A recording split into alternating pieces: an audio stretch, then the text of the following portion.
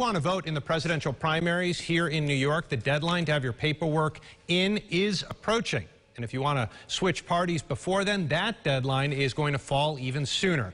Christian Garzon sat down with the Monroe County Board of Elections today. He joins us now with all this great information. Christian.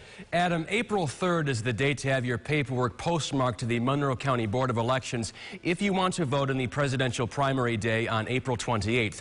New York is a closed primary, meaning you have